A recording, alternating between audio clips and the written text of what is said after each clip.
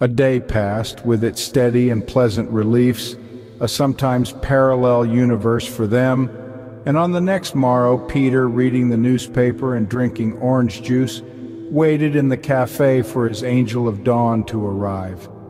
She soon came, staunch and loyally reliable, and they ordered coffee, eggs, and sausages. I started writing the story of a day, said Peter, but I only wrote midnight to 7 a.m. so far. It's mostly evanescent as it contains some dreams. Please read it, Peter. A day in the period that it subtends is the cyclic unit of time, a pearl pure and round and complete in the necklace of months, a bead worn smooth. The days, polished by the clacking of time over the cobblestones, distance themselves like echoes absorbed by the night into the rosary of the seasons. My day begins at midnight, the time when a day lives and dies as the date changes unseen on a timepiece, a watchfire reborn from its own embers. Good start, Peter. Good metaphors. I lay barely awake reading, the waves of sleep seeping ever closer in circles it seemed, lapping at me as my book fell toward the bed and once even to the floor. The cat had succumbed hours ago and slept snuggled and purring with a paw across its eyes. Summoning one last motion out of the deepening paralysis, I stretched for the lamp and drew the darkness over me and rested warm and naked between the sheets. The many blinds sliced the moon and I bathed for a moment in the stripes until I turned away from the light and drifted toward darkness. I thought of the pine tree under which I would sleep, next to the old stone wall in my dreams, my recurring haven of repose, in a securely warm cocoon of the snugness of a sleeping bag. Here I would be utterly removed from even the touch of God, my body and spirit proximate to a new radiance, that of the day's heat emitted from the stones back into the night air, while two, in sleeping, would absorb from nature whatever it was that was renewed afresh each night through the mysterious black conduit. With one last look back to the day's events,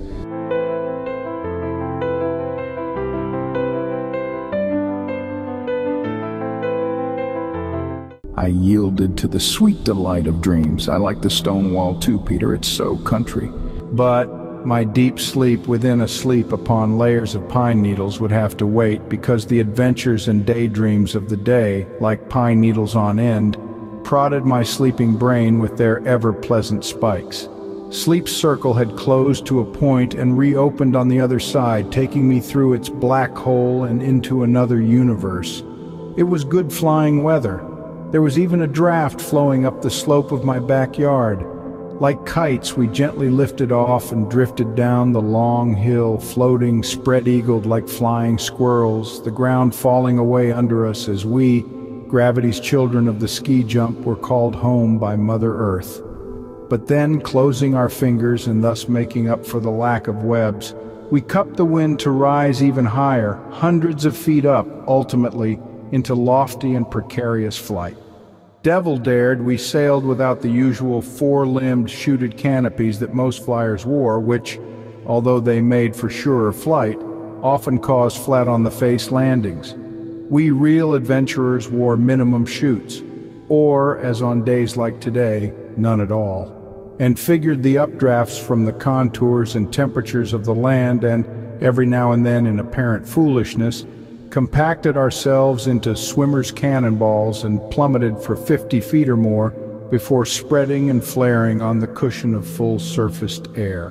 My consciousness as a passenger rode with me, for I had practiced dream awareness and control, and so an event that would be normally little more than a remembrance now became a living and conscious thing. I rose heavenward, alert and appreciative, a spectator mounted on Pegasus, riding the thermal drafts and observing everything like the all-seeing eye atop the all-knowing pyramid, one looking both inward and outward. Peter, do you often dream about flying? Yes, though sometimes I have to flap my arms to get off the ground.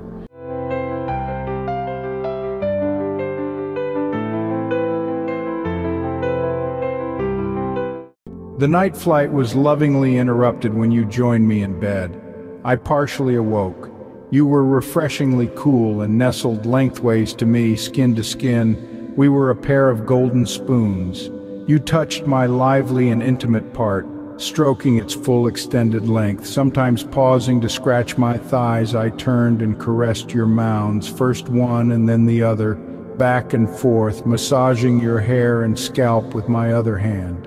You were soon wet below the waterline and you steered my rudder, already moored nearby in the flankette dock, into that safe harbor where the waves originated and sought the open sea.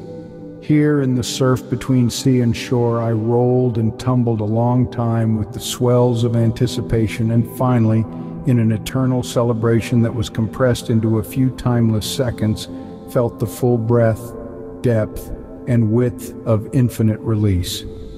Peter, do you often dream about flying? Yes, though sometimes I have to flap my arms to get off the ground. The night flight was lovingly interrupted when you joined me in bed. I partially awoke. You were refreshingly cool and nestled lengthways to me skin to skin. We were a pair of golden spoons. You touched my lively and intimate part, stroking its full extended length, sometimes pausing to scratch my thighs, I turned and caressed your mounds, first one and then the other back and forth, massaging your hair and scalp with my other hand. You were soon wet below the waterline, and you steered my rudder, already moored nearby in the flanquette dock, into that safe harbor where the waves originated and sought the open sea. Here in the surf, between sea and shore, I rolled and tumbled a long time with the swells of anticipation, and finally, in an eternal celebration that was compressed into a few timeless seconds, felt the full breadth, depth, and width of infinite release.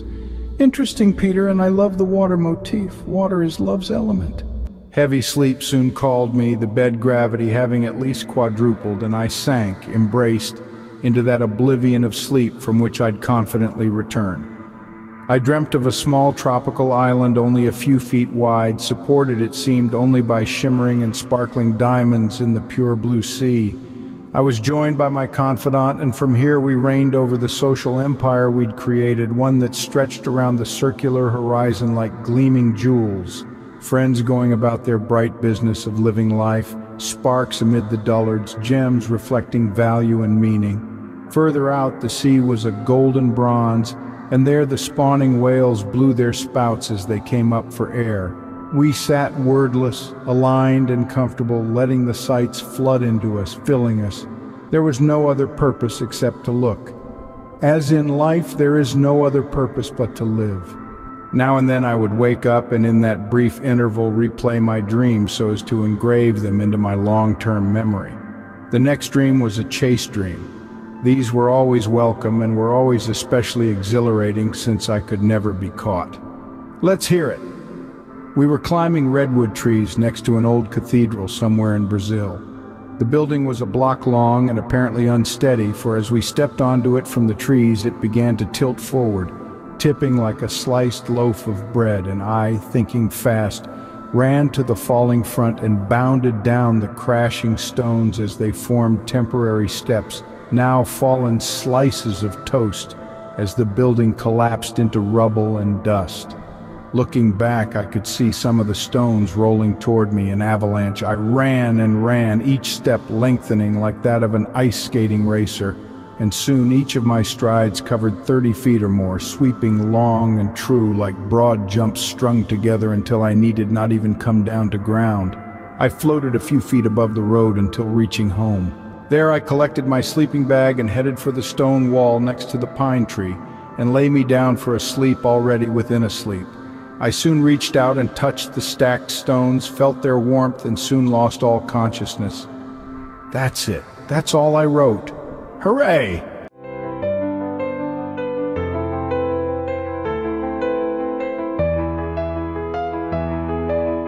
Some say that the day should begin at 6 a.m with first light. And I would almost agree, however, by the dawn of reckoning, the mood of the day has often been already set by the tones of dreams. And so for me, the day begins with midnight. As I awoke and reviewed my dreams again, I knew that it would be another good day. I could no longer remember a bad one, perhaps like a stable weather pattern, the good days inspired good dreams and vice versa ad infinitum. The daily almanac came on the radio and I was alert to listen, though still assured of staying in bed another 45 minutes. There was no hurry. This time was planned. I got up, turned on the heat, dressed, fed the cats and put on the eggs, bacon and sausages. Opening the door to get the newspaper, I inhaled that wonderful deep draught of cool outdoor air during that first moment in which one is immune to even the lowest temperatures. This was followed by a drink of water from the well. I felt its coldness flow all the way down to my stomach. I love it, Peter. It demonstrates the true excitement of everyday life, especially during the time of sleep which most people feel is a big blank but is actually a wondrous time if you're aware of it.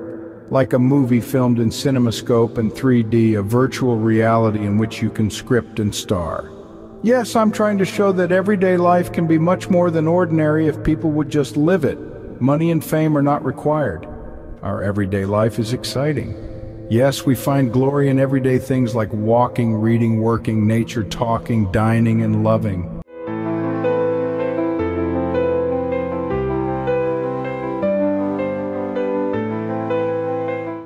and in meeting friends, giving love to relatives and families, a glass of water from the well, fresh air, swinging on a porch swing, being together.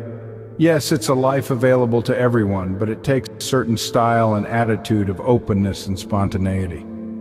A lot of people just complain and sit around not acting on their dreams. Like robots, they run the same old rat race, rush rush. They give their time to hurry's worry, and so they ever go breathless back and forth in the scurry.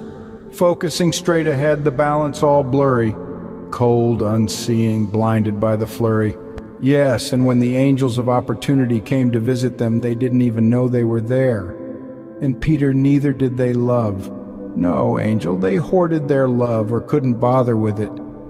Living well is more a matter of ready reaction to opportunity than a calculated, scheduled, ponderous activity.